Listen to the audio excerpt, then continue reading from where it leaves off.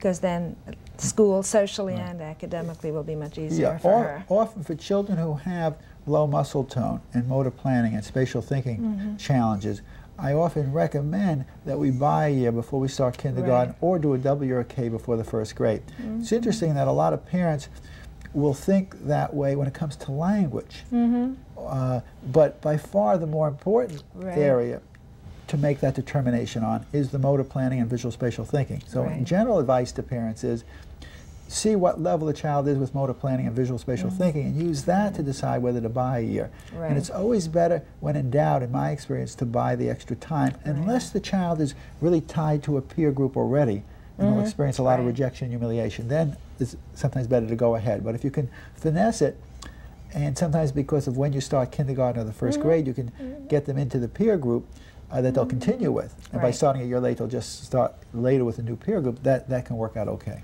Yeah, I think it would make a big difference Yeah. for many children.